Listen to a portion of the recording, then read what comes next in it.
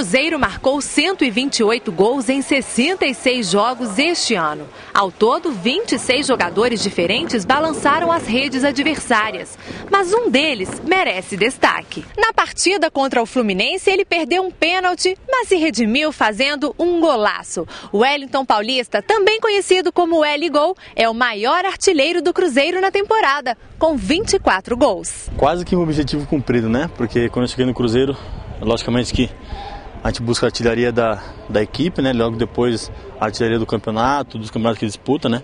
Estou em disputa ainda pela artilharia do Campeonato Brasileiro, né? Já passei o Kleber na artilharia do, do campeonato do, do, do time, né? Estou feliz por isso. Ele também é o principal goleador da Raposa no Campeonato Brasileiro. Com os pés e a cabeça, ele já marcou 12 vezes e espera marcar mais. Estamos em busca disso. Lógico que está difícil, né?